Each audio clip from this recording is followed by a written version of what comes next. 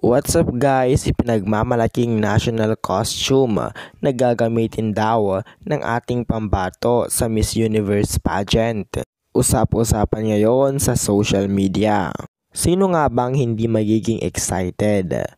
Kasi nga naman papalapit na ng papalapit ang magiging laban eh, ng ating pambato na si Celeste Cortesi sa Miss Universe pageant. Kaya nga naman hindi na maiwasan eh, ng mga netizens na ma-excite sapagkat nga naman matatapos na ang Disyembre at pagpatak nga daw ng January ay simula na ng laban ng ating pambato sa Miss Universe na si Celeste Cortesi. Bukod pa nga doon, inaabangan niya ang preliminary competition eh, at national costume competition.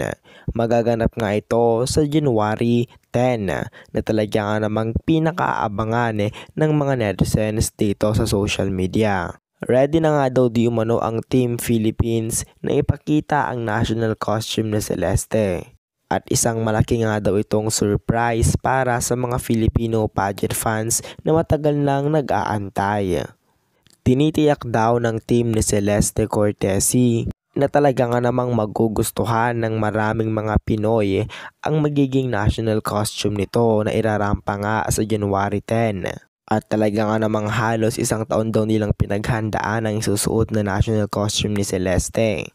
Usap-usapan din ng mga sketch ng mga fans sa social media na talaga nga namang napakaganda. Umaasa si Celeste na sa papalapit na Enero ay talaga nga namang patuloy natin siyang susuportahan. Umaasa din siya na iboto natin siya sa Miss Universe app upang masecured na nga ang kanyang spot eh, sa semifinals o sa top 20 ng Miss Universe pageant.